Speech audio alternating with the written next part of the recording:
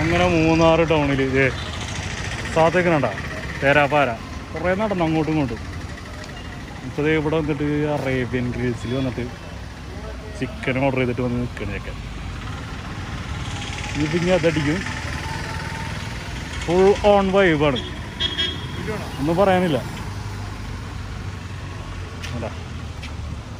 ഓ പൊളി പൊളി പൊളി പൊളി.